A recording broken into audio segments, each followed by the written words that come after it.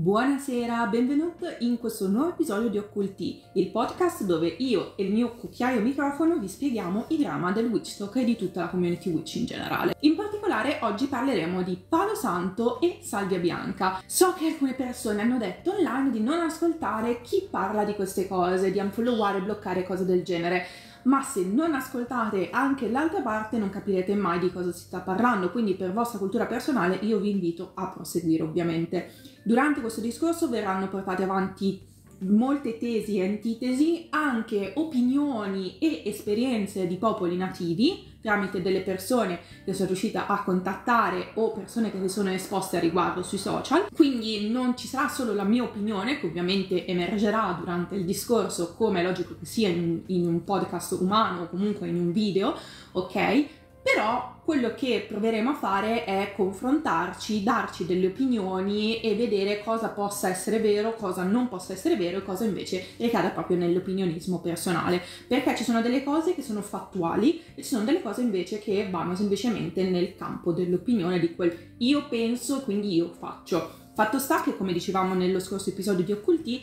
ognuno è libero di fare ciò che vuole ogni cosa ha quindi una sua responsabilità e conseguenza, però nessuno può obbligarvi a fare qualcosa che non volete o a non fare qualcosa che volete fare invece. Queste sono le cose basilari da mettere in chiaro per questa puntata di Occulti sul Palo Santo e la Salvia Bianca. Tutto il resto ci concentreremo più che altro sul dividere quello che è successo, ok, e che si è stato detto, poi il campo ambientale e il campo etico della lavorazione e successivamente l'utilizzo proprio di queste due piante del perché qualche giorno fa Zuzu, una creator qua su TikTok, ha creato per l'appunto un video in cui parlava di Palo Santo e perché non si dovrebbe utilizzare, dicendo che è cultural appropriation. In particolare il Palo Santo non è molto etico perché sfrutta il territorio nativo americano, così come la salvia bianca,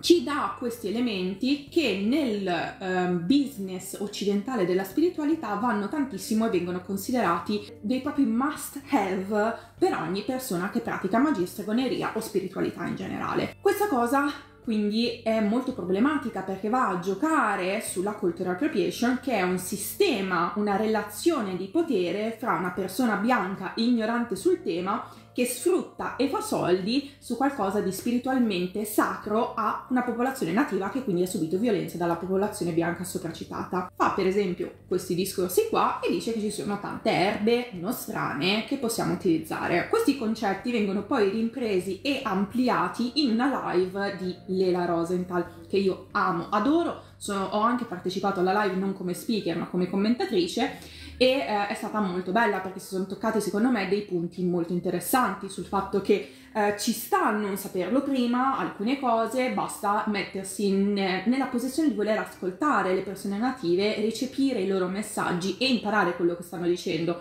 non posizionarci con pressapochismo, proprio con un pressapochismo del eh vabbè ma no io ho capito quello che vuoi dire, perché molto spesso quello che ci manca è proprio il linguaggio per poter capire determinate dinamiche, oltre che il contesto sociale corretto.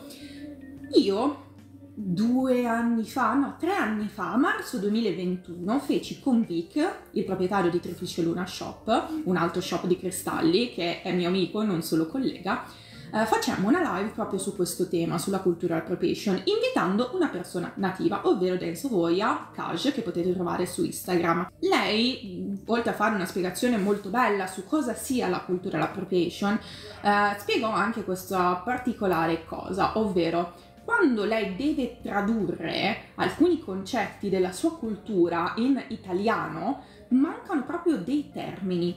E quando si trova a spiegare dei concetti alla platea, perché lei è un'antropologa culturale, si rende conto che la gente recepisce un po' quello che vuole in base alla sua socializzazione. Quindi quando spiega per esempio cosa siano i Wa, si trova davanti persone che dicono ah quindi è il Pantheon tipo il Pantheon greco tipo questa divinità X, Y nella nostra concezione c'è molto il comparare le divinità e quindi dire Giove, Zeus, Thor, Odino e fare tutti questi parallelismi perché per noi è più facile assimilare un concetto se lo riportiamo alla nostra esperienza, ma in questo caso la nostra esperienza è così lontana, quasi opposta a quella delle culture native, che invece sono oppresse dalla nostra cultura, che non riusciamo totalmente a comprenderle e nel riportarle alla nostra visione perdiamo di valore ma anche di concetto di significato e quindi proprio eh, questa cosa si ripercuote molto sulla nostra conoscenza dell'argomento.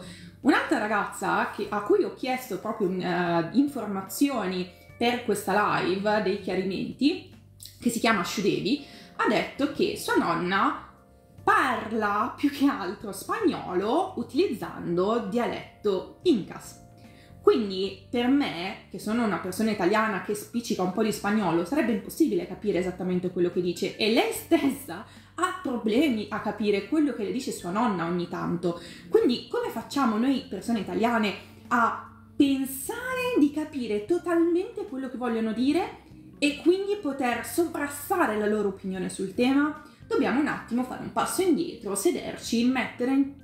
in posizione d'ascolto, ascoltare le persone native. Quindi è anche un, proprio un sistema di pensiero e di realizzazione dei concetti, ciao amo, che è molto diverso rispetto al nostro e che non riusciamo compre- a comprendere appieno. Ed è un concetto fondamentale per il discorso di cultural appropriation, perché io, come vi dicevo prima, la cultural appropriation è una dinamica di potere da una persona che fa parte di una cultura di oppressori è una persona che fa parte di un popolo di oppressi, ok? Quindi su due spiagge opposte. In realtà quello che noi andiamo a fare e che dovremmo fare è metterci in contatto. Siamo nel 2024, una popolazione globalizzata che per forza viene a contatto con altre realtà. Ed è giusto così perché solo apprezzando la cultura altrui siamo in grado di crescere e trovarci un posto nel mondo, ok?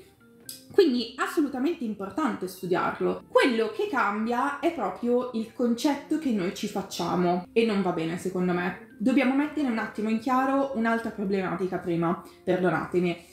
La, il fattore ambientale. Palo santo e salvia bianca cosa sono? Sono due piante che possiamo trovare sulla nostra terra. La salvia in particolare in California e nell'area nativa americana di quei posti mentre il palo santo lo pensiamo di più in Ecuador, in Perù, comunque coltivato da generazioni da popolazioni native di quel posto. Queste, essendo specie presenti solo in un determinato territorio, riferimento, in riferimento a una cultura particolare, sono considerate delle erbe sacre, che per ora non ci interessa. Però vuol dire che nelle altre popolazioni non era molto in uso o non era ancora arrivato. Le Americhe sono state scoperte, tra virgolette, nel 1492 da Colombo. Quindi prima noi non sapevamo cosa fossero i pomodori, il mais, il palo santo e la salvia bianca per l'appunto. Quando noi entriamo in contatto con queste piante è una dinamica oppressoria di conquistadores. Prendiamo queste piante, all'inizio sono solo piante, a un certo punto l'uomo bianco si rende conto che con uh, una discussione di guardate i nativi americani cosa fanno con queste piante,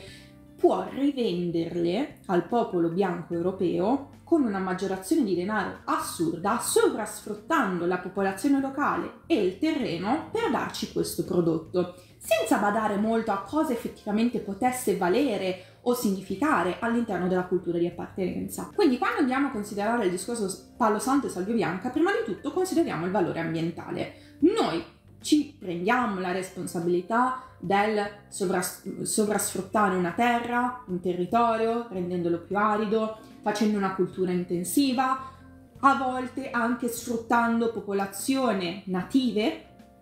che vengono sottopagate e messe in condizioni di lavoro assurde ed estreme.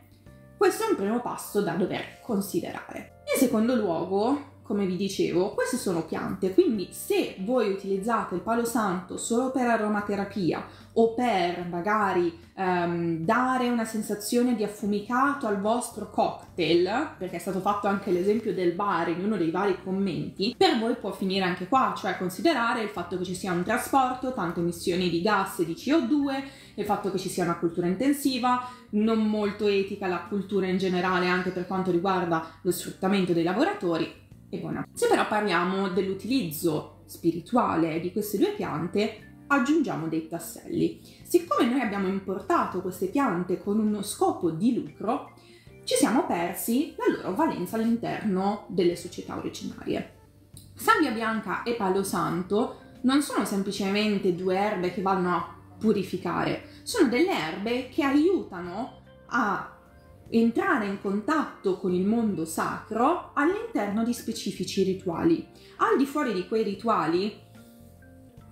non è che abbia un grandissimo senso utilizzarle, tipo per i nostri rituali che non c'entrano nulla con i loro rituali nativi. Inoltre c'è una grande disinformazione sul termine purificazione, secondo me, perché quando noi diciamo purificazione e basta, la, il primo significato che ci viene in mente è togliere le energie negative e lasciare solo quelle buone, quando in realtà purificare dovrebbe essere utilizzato per lo più per dire neutralizzazione delle energie, quindi non rimuovi solo quelle negative ma anche quelle positive per andare a creare un bilancio, un'area zero da cui poter ricostruire. Mentre il palo santo e la salvia bianca non hanno esattamente questo scopo, quello che loro vanno a fare, e qui abbiamo la testimonianza diretta di Dharma e di Shudevi che fanno parte di popoli nativi che lo dicono, non vengono usati per purificare e neutralizzare, ma per creare uno spazio sacro, uno spazio in cui poter ritualizzare nel pieno rispetto e in piena connessione con l'aldilà. Aldilà è inteso come spiriti deifici, divinità,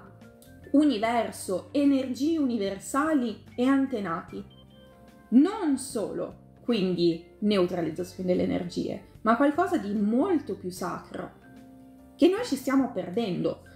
E molto spesso, infatti, quando le persone parlano di certi argomenti, voi potete notare subito se conoscono la sostanza per come si pongono e per quali termini utilizzano. Già prima vi dicevo che c'è un'impossibilità di spiegare in italiano determinati concetti perché non esistono le parole per tradurre in maniera legittima, omnicomprensiva determinati concetti. Ma se poi voi sentite parlare una persona di no, il palo santo non è appropriazione culturale, poi ci arriviamo anche a conversare su questa cosa qui perché vi sorprenderò forse. Ma um, una persona che prende la posizione del no, si può utilizzare sempre, io lo vendo di qua e di là,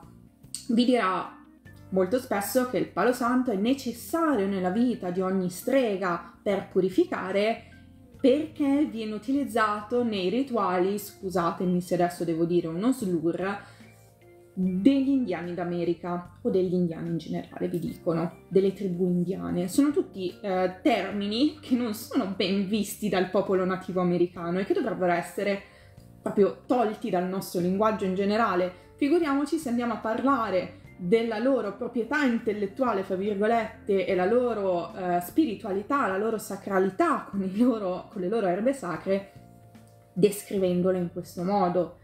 Vi rendete conto proprio che la persona non conosce l'argomento, oppure quando si parla di tarocchi molte persone dicono è l'appropriazione culturale, allora anche non si dovrebbero nemmeno usare i tarocchi perché fanno parte della cultura, scusate devo usare ancora di qua lo slur per esemplificare quello che vanno a dire, per capi- farci capire e dicono fanno parte della cultura zingara. Non si dice questo termine, si utilizza popolo rom, comunità rom, popolazioni romani, Roma people, questi sono tutti termini giusti. Gli altri slur, ovvero gli, la G in inglese, la Z in italiano, sono tutte terminologie che dovremmo evitare per rispetto delle altre persone, neanche tanto per spiritualità di qua di là, perché non dovrebbero essere utilizzate queste parole, come la N-word, ok? c'è sempre lo stesso discorso dietro. Quindi quando il concetto di cultural appropriation, palo santo e salvia bianca vengono approcciati da persone che utilizzano questi slur, automaticamente tu sai che questa persona non conosce bene l'argomento e quindi l'opinione che può dare è viziata dalla società in cui è cresciuto perché non ha avuto il tempo e l'occasione forse di approfondire Diceva Scilia in quella famosa live di marzo 2021 che vi ho citato che ci sono due tipologie di persone che fanno questo ragionamento. Uno, le persone ignoranti che non sanno di non sapere, che sono solitamente quelle persone buone che quando tu spieghi un determinato concetto si rendono conto dello sbaglio o comunque ci ragionano sopra per capire meglio, vanno a ricercare, e poi ci sono le persone che sanno di non sapere. E quindi si rendono conto di avere un'informazione superficiale, viziata dalla propria cultura, del concetto, ma non ne frega più di tanto perché possono fare quello che vogliono, prendono il diritto di parola con il diritto di azione, emarginano,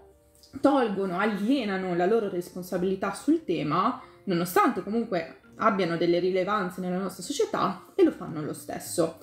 Una di queste responsabilità che ci dovremmo accollare, come dicevo prima, è quella ambientale, dell'impoverimento di determinati habitat, del trasporto che crea CO2, cose di questo tipo. Ogni tanto facciamo il discorso degli avocadi eh, che arrivano dal Venezuela e poi però la salvia bianca e il palo santo ce lo facciamo importare direttamente dalla California o dal Perù. Capite che sono dei discorsi importanti da un punto di vista ambientale per il cambiamento climatico e non solo per la spiritualità di una persona. In ogni caso, continuando il discorso spirituale, eh, a noi mancano proprio i concetti, le basi, le informazioni, il comprendere determinate strutture sociali che non è che noi dobbiamo dire, ah ok, allora io sono una persona bianca, sono una persona europea, ho un privilegio, non potrò mai capire questo concetto, quindi non lo studio. Assolutamente no è importante capirlo, conoscerlo, comprenderlo, perché essendo nel 2024 una popolazione globalizzata, un popolo, scusate, globalizzato, quello terrestre, è importante conoscerci, è segno di rispetto, di cultura personale e cultura in generale, in maniera tale che le ci si possa rapportare con il prossimo nel migliore dei modi. Questo qualcuno potrebbe dire che sia un ragionamento da accademico e che una vera strega in realtà se ne infischia perché il potere viene da dentro e ehm, quindi non si deve imporre delle regole. Io non sono onestamente dello stesso pensiero perché anche nelle varie grandi scuole di esoterismo e di stregoneria passata ci sono sempre stati dei regolamenti. Pensiamo ad esempio il passaggio di poteri che ci sono all'interno della stregoneria italiana Personalmente in Sardegna i poteri non vengono passati in un giorno qualsiasi a meno che non ci sia un'emergenza, ma il potere di solito viene passato nelle notti di Pasqua o di Natale o ancora nelle notti di luna piena nel caso non si possa aspettare né l'una né l'altra festività. Se proprio c'è un'emergenza del tipo che ti rendi conto che sono le tue ultime ore, puoi farlo anche quella notte lì, ma non è consigliato. C'è l'obbligo di riservatezza, di segretezza perché altrimenti si perdono i poteri. Esistono le streghe, per l'appunto, le streghe che furano, che rubano il potere, proprio perché siccome viene eh, rotto il sigillo di segretezza, questa conoscenza aleggia nell'aria e può essere rubata. E quindi esiste, esiste la strega che fura, che ruba. Quindi non dobbiamo pensare a compartimenti stagni, ok? Secondo me un accademico può essere anche una persona che pratica stregoneria, che pratica magia, una volta sì c'erano le differenze fra mago e strega, nel senso di mago è chi nasce senza poteri magici che vengono tramandati senza una famiglia di streghe, quindi impara a praticare magia ma non ha la legittimità tradizionale, mentre una strega è chi ha la legittimità tradizionale e il potere ce l'ha da dentro da sempre. Quindi, mm, come vedete, anche nella, tra- nella mm, definizione storica delle due etichette, perlomeno italiana, della folk magic, non c'è un è mago solo chi studia e la strega può anche non studiare. È ovvio che nel 2024, ripeto, siccome noi abbiamo accesso ai libri e alla cultura di base perché c'è il diritto alla cultura, dovremmo farcene una personale conoscere gli argomenti e poi farci un'opinione, qualsiasi essa sia, ripeto, non avete un obbligo di pensarla come me, come Ciccio Pastrugno, come Gianculo, potete farvi la vostra opinione personale e agire di conseguenza, ma è importante informarsi. E se io sento una persona parlare di questi argomenti, dare un'opinione, ok? E dei consigli molto forti come per esempio non seguite chi parla di appropriazione culturale eh, perché fa ridere e poi utilizza dei termini come per esempio gli slur o dice che il palo santo purifica quando non è questa la sua funzione nativa,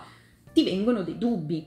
Non tanto sulla persona in sé, ma sulla sua preparazione sul tema in particolare. Ok? Questa è una cosa molto importante secondo me da sottolineare ed è quello che manca nelle discussioni del witch talk per quanto riguarda queste eh, due erbe, perché mh, mm, viene sempre detto ah, una proiezione culturale, quindi non si può mangiare la pizza perché il pomodoro è stato importato dalle Americhe, quando sì, si potrebbe parlare di questa cosa qui, ma non ha senso a livello di cucina perché non stai andando a calpestare la spiritualità di nessuno per i tuoi comodi. Il, I tarocchi, senza sapere che i tarocchi sono italiani, ma anche se non lo fossero, hanno una um, struttura cristiana che poi è stata rielaborata in ambito esoterico, quindi è stata ampliata, che non sappiamo da dove abbiano origine effettivamente i tarocchi, sappiamo solo che i primi documenti sono italiani, ad esempio. Uh, altri esempi che vengono fatti è allora non posso più usare il palo santo per i miei drink, vi ho detto, quando mh, mm, non è quello il discorso, noi stiamo parlando di spiritualità, anche se utilizzi per i tuoi drink fai un discorso ambientale che vi dicevo prima, ma fuori dai drink facciamoci un altro ragionamento spirituale, cioè non esiste solo o uno o l'altro, bisogna andare a contestualizzare i nostri ragionamenti per farci un'opinione e dare un'opinione sempre. Uh, un altro punto importante che io voglio toccare è il fatto, è un misto fra ambientale ed etica.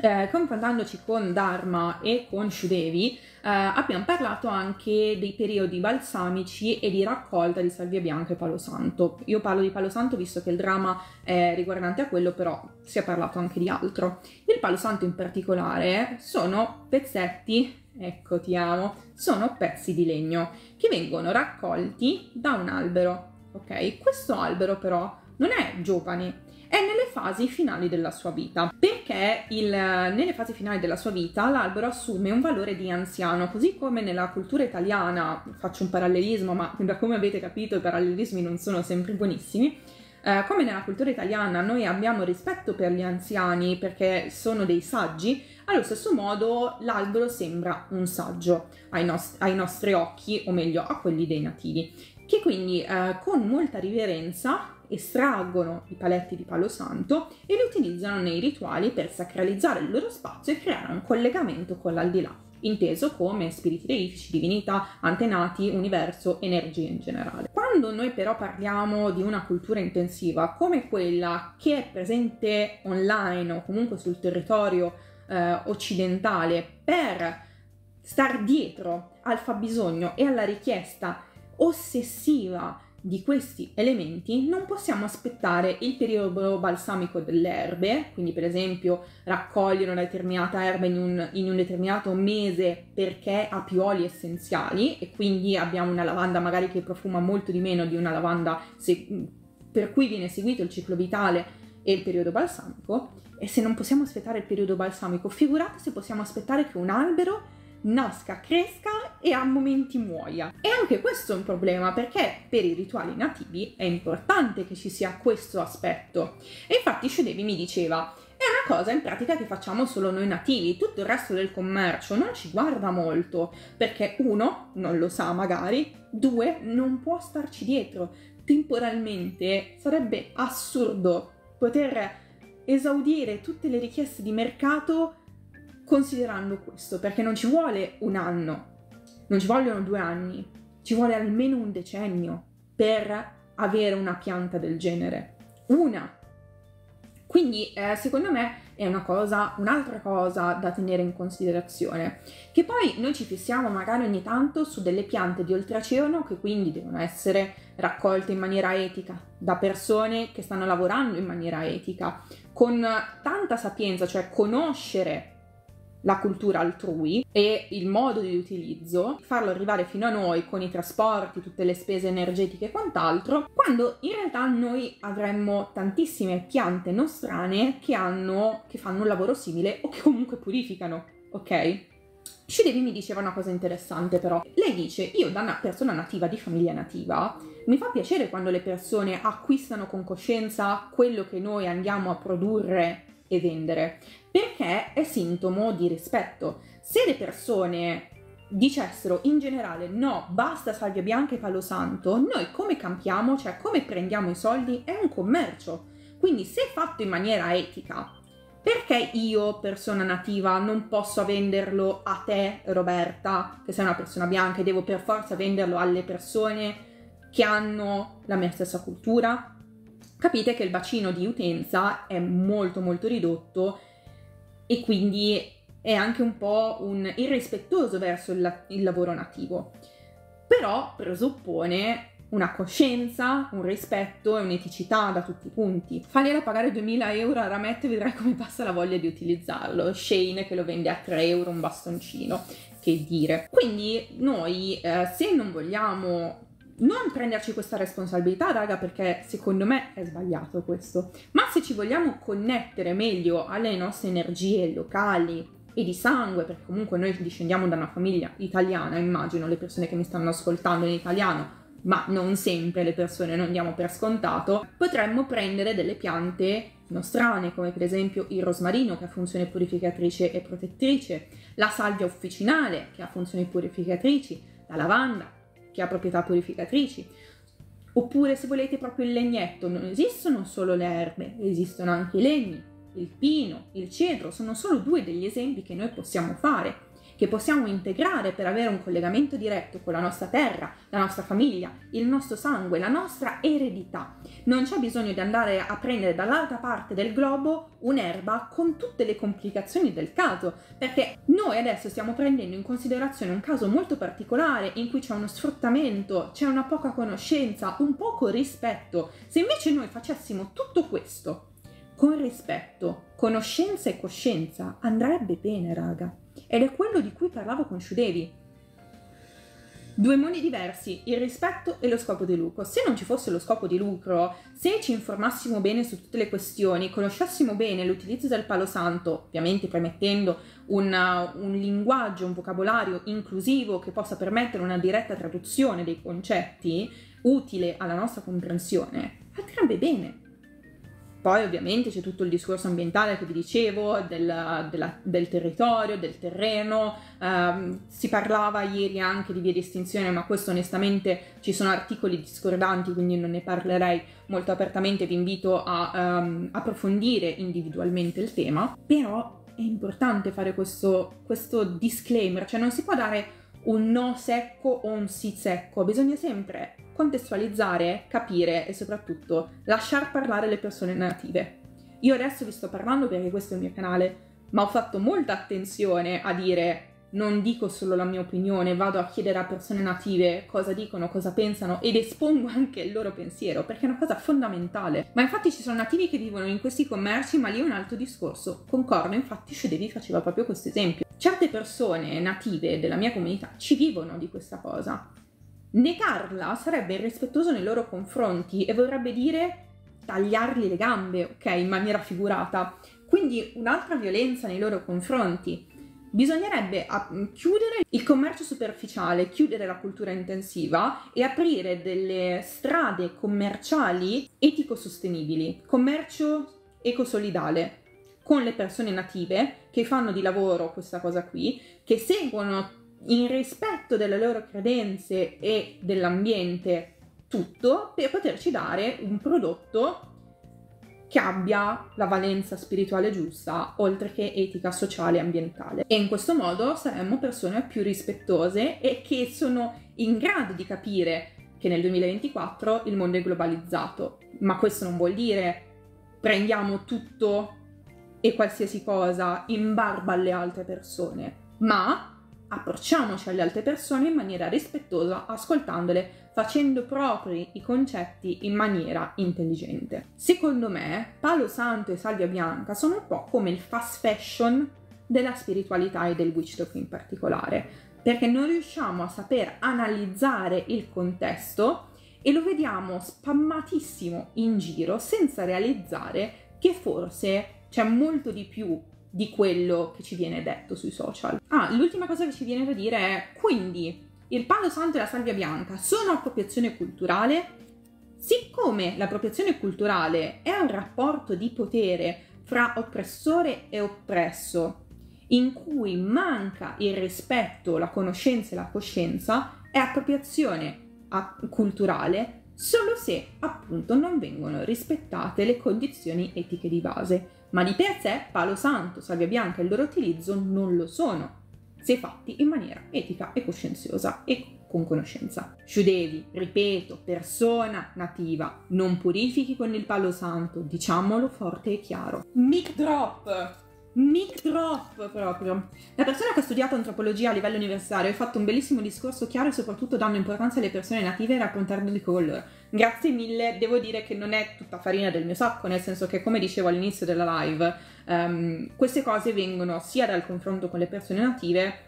di vario tipo, Dharma, Shudevi e Kaj, sia dal fatto che uh, alcuni concetti li avevamo già affrontati in una vecchia live che se volete mi scrivete su Telegram vi, vi mando di Kaj proprio, che è Denso Hoya su Instagram e lei è un'antropologa culturale, oltre che una persona afrodiscendente che è iniziata all'Udu e al pantheon chemetico e al culto chemetico, per esempio. Quindi sono persone effettivamente del campo, quindi mm, non è un caso che tu citi antropologia, è proprio una persona che ha fatto questo discorso con noi per portare avanti questo, uh, questa sensibilizzazione sia antropologa culturale. Non fa ridere, secondo me, parlare di rispetto. Certo che sui social questo argomento è overspammato, spesso fatto nei, nei, nei modi peggiori e con toni veramente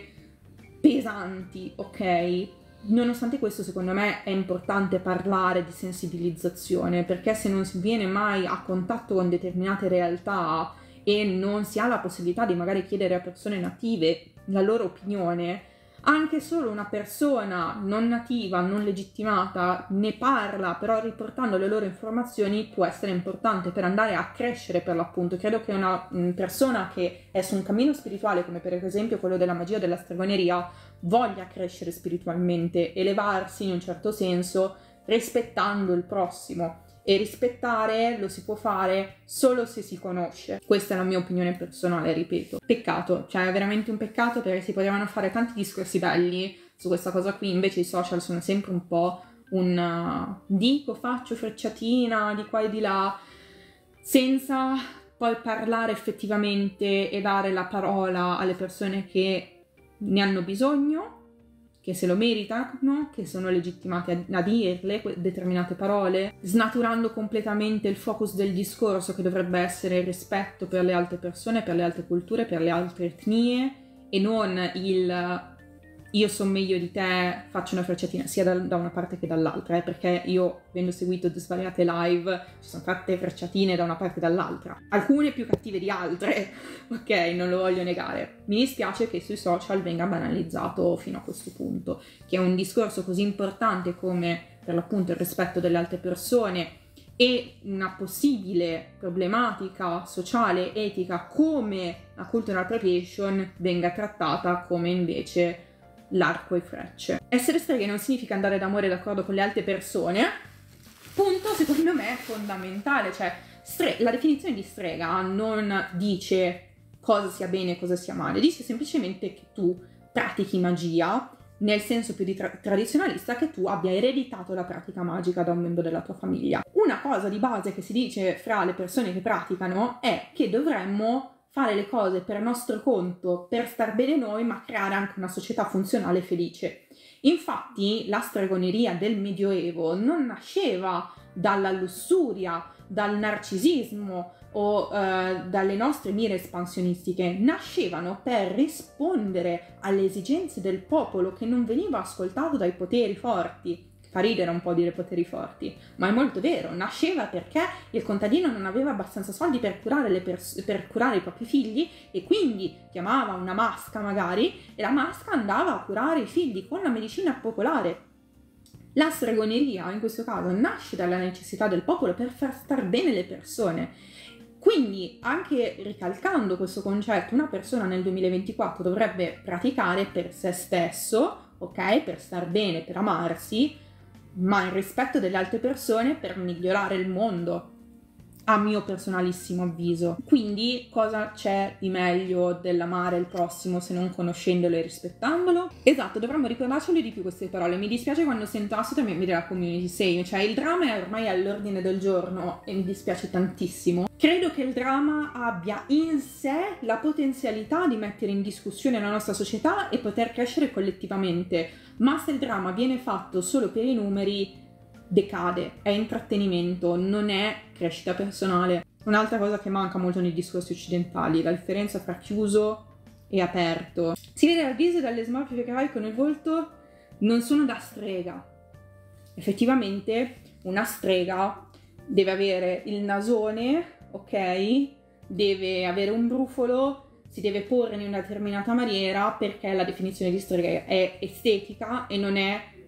iniziatica. E puzzare. No, a parte gli scherzi, la definizione di strega, come dicevo prima, cambia dal contesto, quindi se la andiamo a contestualizzare, per esempio, da un punto di vista di stregoneria folk tradizionale italica, la strega è chi nasce eh, in una famiglia di streghe e ottiene per tradizione e iniziazione il passaggio del dono, che poi non è davvero dono il termine corretto, si dovrebbe parlare di potere, da noi si chiamano brebus, ok, che sono le parole sacre. Um,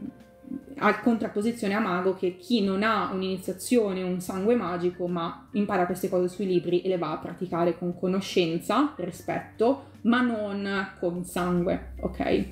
In altri contesti strega vuol dire tutt'altro, per esempio in contesto cristiano strega è chi pratica l'arte del diavolo, per esempio. Uh, nelle correnti più New Age americane strega è chi pratica magia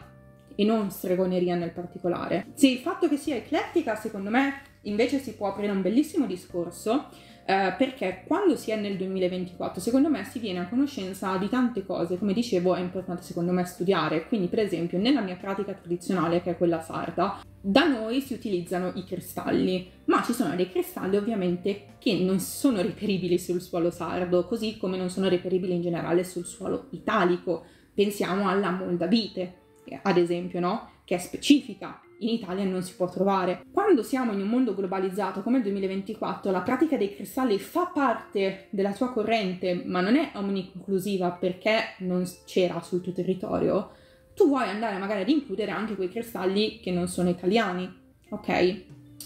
E secondo me la conoscenza li fa portare lì. Allo stesso momento tu non hai più solo il concetto eh, tradizionale e quindi includi dell'eclettismo nella tua pratica, però in questo caso l'evoluzione del pensiero per includere delle nuove informazioni prima non reperibili è considerato eclettismo o semplicemente un'evoluzione naturale del credo e della pratica? Secondo me è una cosa molto interessante, perché quando la stregoneria tradizionale ha subito la cristianizzazione per sopravvivenza, noi non l'abbiamo considerata eclettica, noi abbiamo, l'abbiamo considerata sincretica e abbiamo dato origine alla magia folk italiana. Eh, secondo me è una cosa particolare, poi si vede molto la parola eclettica come qualcosa di negativo. Eh, credo che l'eclettismo possa essere anche una modernizzazione in base alla conoscenza, l'ampliamento delle proprie conoscenze nel rispetto della pratica altrui, sapendo da dove arriva e come poterla integrare in maniera rispettosa, che non è sempre possibile, eh? mettiamo le mani avanti, però dove è possibile ci sta. Avete qualcosa da aggiungere, raga? Così chiudiamo, che sono veramente stanca, sono passate un'ora e quaranta. Eh, ci siamo parlati di tante cose, dell'impatto ambientale del Palo Santo della Salvia Bianca, oltre ovviamente aver parlato eh, del dramma, quindi del video di Zuzu, della live di Lela, delle risposte non troppo cordiali che sono state fatte sia in risposta diretta tramite commento a questi due eh, contenuti, sia proprio di risposte video, abbiamo parlato, dicevo, del contenuto ambientale, impatto ambientale, eh, dell'impatto etico del lavoro fatto per prendere determinate cose, quindi aspettare non solo il periodo balsamico, ma proprio il periodo finale di vita dell'albero per poterlo raccogliere con la sacralità e la legittimità giusta, l'utilizzo dei popoli nativi, come viene concepito dal popolo europeo in generale, eh, dicendo che è, so- è, purificazione quando non è questo, eh, c'è tanta disinformazione a riguardo, che ci si può accorgere quando la persona non sa di cosa sta parlando, perché uno ti dice che il palo santo purifica in maniera molto base base, anche se ha la possibilità di argomentare oltre, Due, utilizza gli slur, abbiamo fatto una parentesi sugli slur su determinate eh, culture, non solo quella nativa abbiamo parlato uh, di come è possibile approcciare queste due piante in maniera rispettosa, uh, cosciente e conoscente, anche perché Shudevi, che è nativa, diceva uh, il commercio deve essere supportato se ecosolidale e in contatto diretto con le popolazioni native, non vanno supportati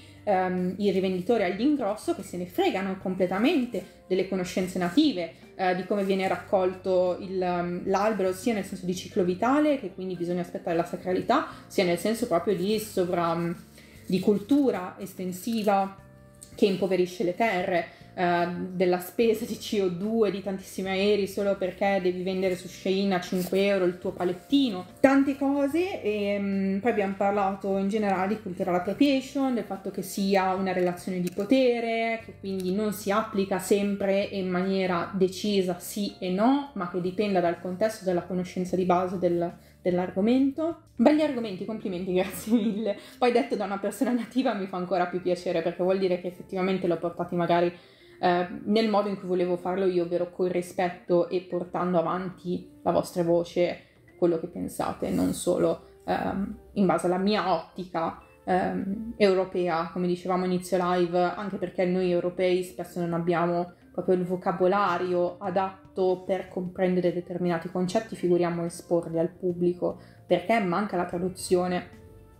ed è una problematica che tante persone native e estere si trovano a dover affrontare per spiegare a noi magari eh, delle cose che troviamo curiose o qualcosa che vorremmo sapere e quindi è, mm, non è scontato dire nel 2024 che sebbene ci sia la globalizzazione non c'è terreno fertile per poterla fare in maniera rispettosa, proprio perché non ci sono gli strumenti e neanche la volontà. Perché se non ci sono gli strumenti è causa di una società che non è pronta al cambiamento e non si mette nella posizione di poter creare concetti e etichette che rappresentino concetti, le parole. Grazie mille per questa compagnia su Occulti, il podcast esoterico che segue i drama del Witch Talk e tutta la comunità Witch in generale. Spero che l'argomento sia chiaro, in generale vi invito a contattarmi per eventuali chiarimenti o link a fonti che ho citato. Per il resto, grazie mille, ci rivediamo in un prossimo episodio. Ciao ciao!